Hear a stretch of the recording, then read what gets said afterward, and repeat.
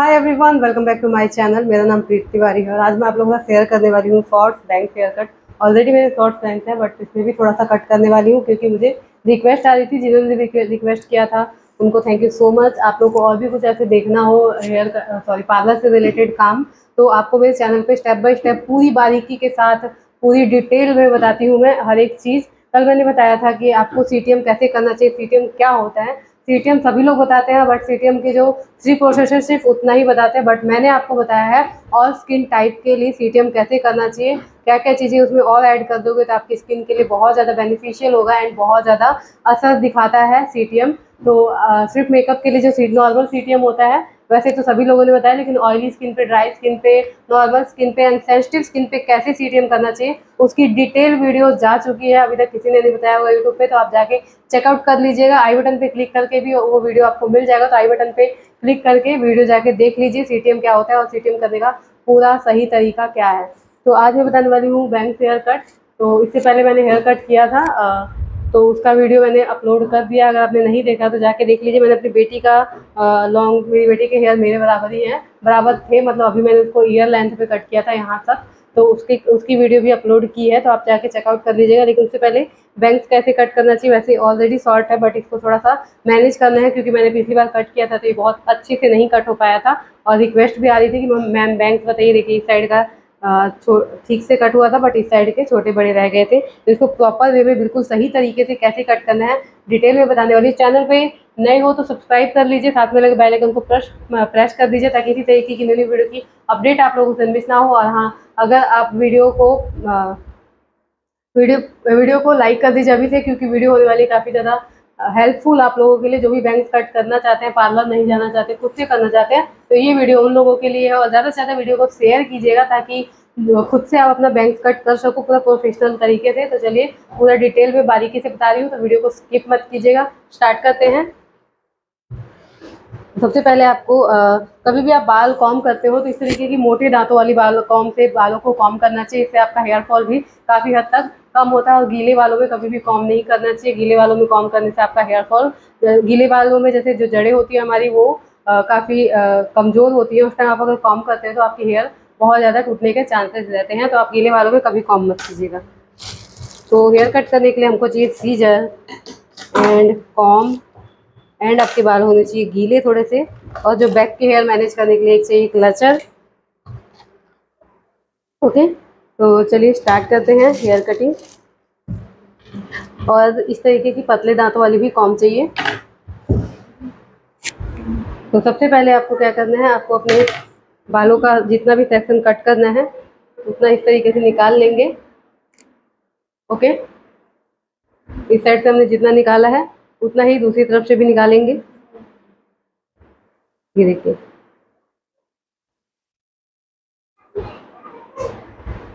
तो देख सकते हो दोनों में कितना डिफरेंट है। अच्छे से कट नहीं हो पाया था तो इस बार मैं पूरा प्रॉपर तरीके से बता रही हूँ। इस तरीके से, ओके। पूरा ईयर तक इस तरीके से पूरी प्रॉपर लाइन एकदम स्ट्रेट लाइन आपको ले लेनी है एक। दोनों तरफ़ से। अगर स्ट्रेट लाइन नहीं आ रही है तो दोनों तरफ़ से पहले आपको बिल्कुल स्ट्रेट लाइन इस तरीके से निकालनी है। अब पीछे के बालों पे क्लचर लगा देंगे, ताकि हेयर कट करते टाइम हमारे पीछे के हेयर ना आ जाए बालों में। फ्रंट का जो कट कर रहे हैं उसमें।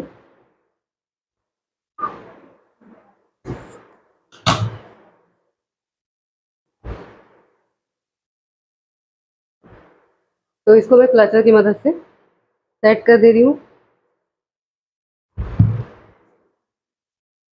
तो इतने हेयर हमको अपने कट करने हैं। तो पहले हम बालों को अच्छे से गीला कर लेंगे। तो इस तरीके से मैंने बालों को गीला कर लिया है। तो अच्छे से बाल गीले हो चुके हैं। अब कटिंग स्टार्ट करेंगे हम लोग। तो कटिंग स्टार्ट करने के लिए क्या करेंगे? पहले आपको इस तरीके से वी शेप में निकाल लेना है बालों को।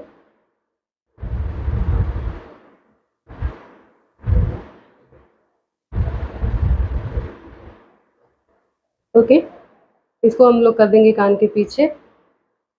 दूसरी साइड से भी सेम इसी तरीके से। जो हमारा आईब्रो का एंड पार्ट होता है ना, वहाँ तक लेके जाना है और इस तरीके से कर देना है एंड बैक इस साइड के वालों को पीछे कर देंगे। अब इसके बाद हमको ज़रूरत पड़ेगी पतले दांतों वाली कॉम्ब की। तो आप देख लीजिए प्रॉपर एकदम लाइन होनी चाहिए आपकी।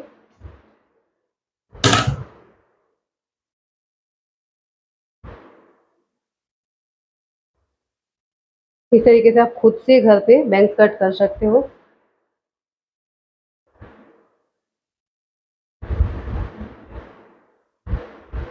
इस तरीके से कॉम में फंसा लेंगे। एंड जहाँ तक कट करना है आपको, यहाँ से कट करना है जो हम लोग शॉर्ट बिल्कुल शॉर्ट बैंक्स कट करते हैं तो उसको आपको, जैसे हमको यहाँ तक का है बैंक्स रखना है तो आपको यहाँ से कट नहीं करना है आईब्रो के ऊपर से कट नहीं करना है, क्योंकि आपको तो इतनी लेंथ चाहिए।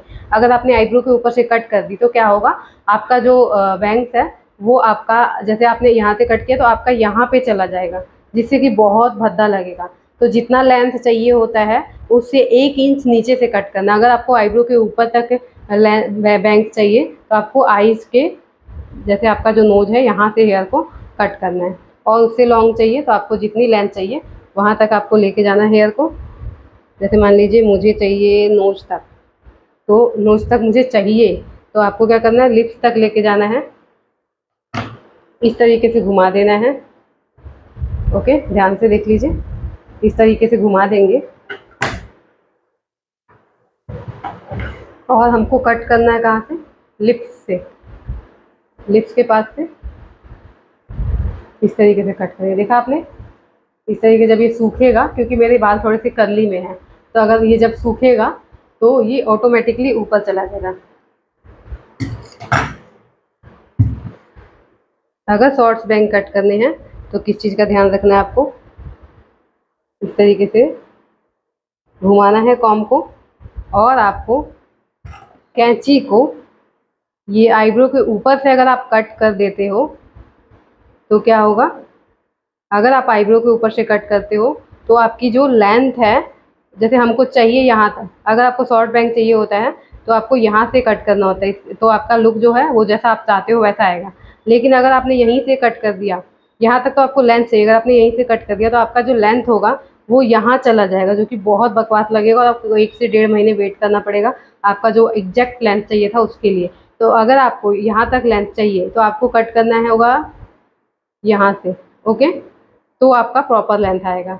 लेकिन मुझे तो लॉन्ग चाहिए था तो मैंने यहाँ तक इस तरी, इस तरीके से कट कर लिया और इसको छोड़ दिया। अब इसको चेक करेंगे। तो ये यहाँ यहाँ तक आया है। देखिए, मैंने बोला था ना, मुझे नोज़ तक चाहिए तो ये नोज़ तक आ गया। क्यों अगर मैंने नोज़ से ही कट किया होता तो ये यहाँ तक चला जाता। ओके? तो अच्छे से प्रॉपर वे में समझ में आ रहा होगा, पूरी बारीकी से बता रही हूँ। अब आपको साइड का बैंग ले लेना है। और इस तरीके से लेना है। और जो आपकी गाइडलाइन है, उसके अकॉर्डिंग ये देखिए हमारी गाइडलाइन ये हमारी गाइडलाइन है। आप सीजर, इस फिंगर को बिल्कुल स्ट्रेट रखेंगे और सीजर को भी बिल्कुल स्ट्रेट रखेंगे और यहाँ से गाइडलाइन से मिला देंगे।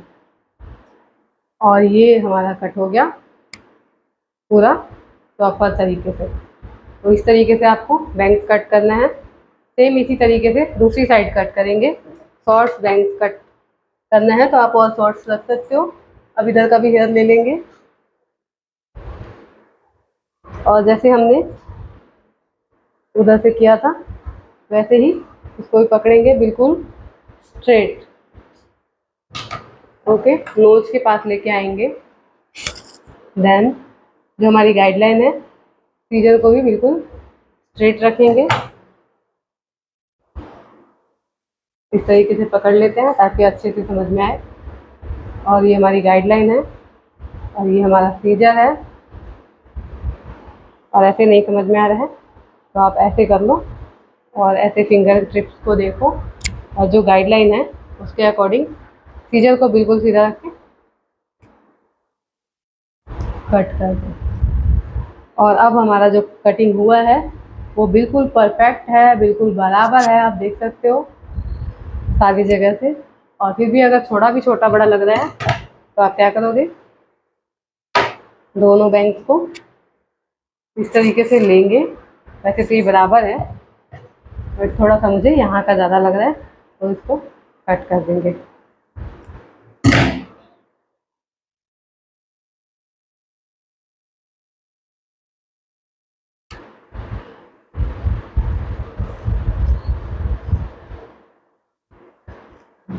और इसके बाद ही हमारा कटिंग कंप्लीट हो गया है।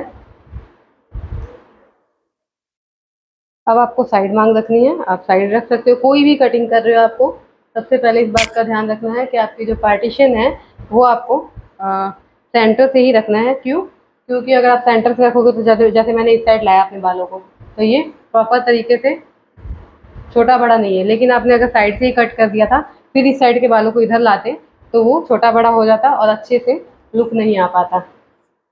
तो आई होप कि आपको अच्छे से समझ में आया होगा कि बैंक कट कैसे करना चाहिए। और अब इसको आप करली मशीन पे घुमा सकते हो और अच्छा सा लुक दे सकते हो।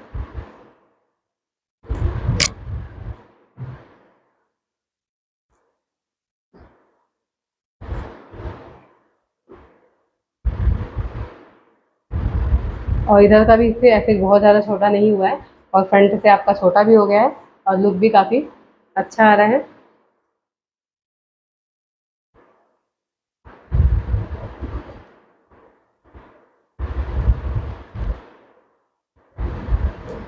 जब हम लोग बालों को ओपन करेंगे। अगर आप सेंटर पार्टीशन करते हो थोड़ा सा स्ट्रेटनिंग कर दोगे तो कुछ इस तरीके का लुक आएगा जो कि काफ़ी प्यारा लगता है।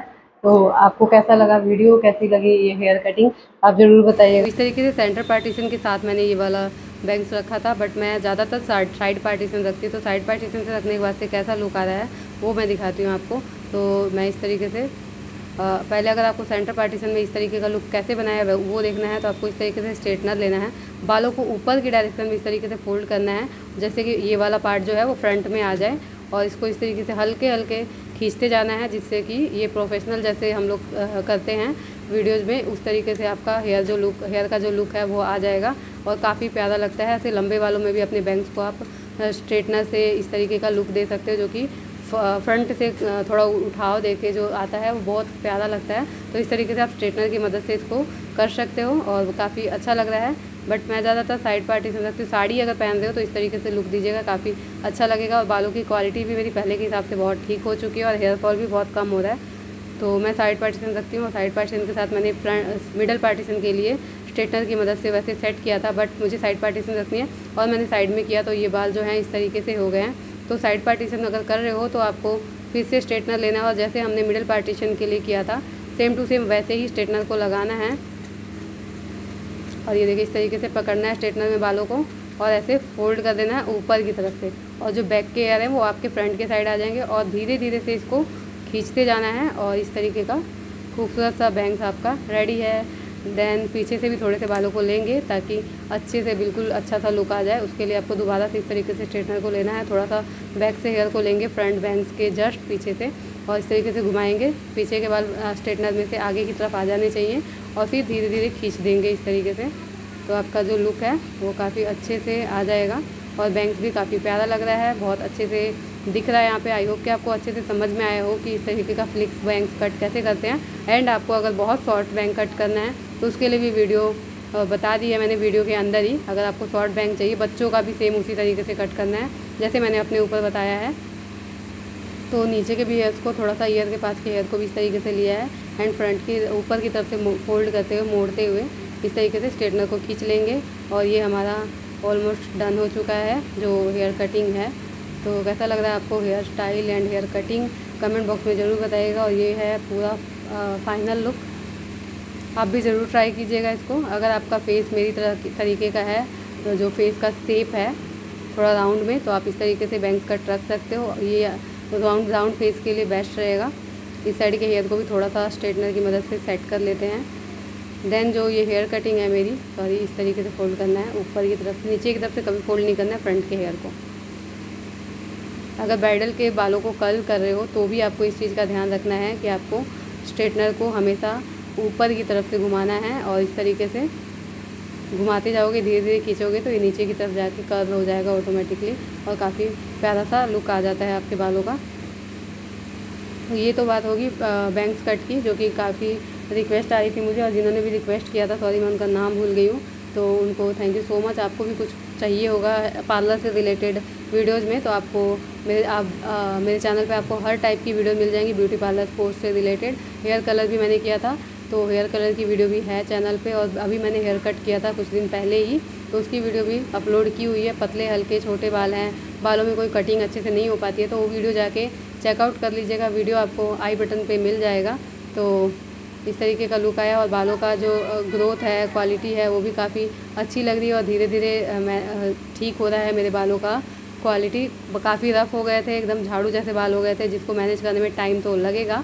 बट जैसे ही पूरा अच्छे से समझ में आ मतलब बाल मेरे ठीक हो जाते हैं, झड़ना रुक जाता है और सब कुछ ठीक से हो जाता है तो मैं उसकी वीडियो शेयर करूँगी। साथ के साथ वीडियो तो शेयर कर ही रही हूँ, लेकिन पूरा प्रॉपर वे में एक वीडियो बना दूँगी जिसमें आपको सब कुछ क्लियर हो जाएगा कि मैंने अपने बालों को ठीक कैसे किया था। और ये हेयर कटिंग आप देख रहे हो, इसको, इसकी कटिंग मैंने दो तीन दिन पहले ही की है, जो कि आपको सूट के लिए, साड़ी के लिए बेस्ट रहेगा। पतले हल्के बाल हैं कोई हेयर कटिंग अच्छी नहीं लगती जैसे पतले बहुत पतले वाला उस पर आप स्ट्रेट या यू शेप या वी शेप करोगे तो और ज़्यादा आपके बाल पतले लगेंगे। स्ट्रेट तो, तो अभी तब भी चल जाएगा लेकिन यू एंड वी शेप के लिए आप पतले हल्के बाल नहीं हैं। पतले हल्के बालों में थोड़ा सा आपको डिफरेंट लुक चाहिए होता है डिफरेंट कट चाहिए होता है जिससे आपके बाल बाउंसी दिखे एंड थोड़ा सा वॉल्यूम दिखे बालों में तो ये मैजिकल हेयर कट मैंने किया था। मेरे भी बाल काफ़ी हद तक अभी पतले हो चुके हैं झड़ झड़ के बहुत ज़्यादा झड़ रहे हैं। तो इस तरीके का कट किया जिससे आपको बिल्कुल भी नहीं लग रहा होगा कि मेरे बाल पतले दिख रहे हैं। बैक से आप देख रहे हो काफ़ी घने दिख रहे हैं। क्लचर लगाओगे तो कुछ इस तरीके का लुक दिखेगा। खुले बालों में भी इसको रख सकते हो। एंड क्लचर लगा के इस तरीके का बैंक कट कर रहे हो तो बहुत ही कमाल का लुक आने वाला है। तो बहुत हो गई बातें और आज के लिए इतना ही। फिर मिलेंगे नेक्स्ट वीडियो के साथ। तब तक लंबा ख्याल रखिए। थैंक्स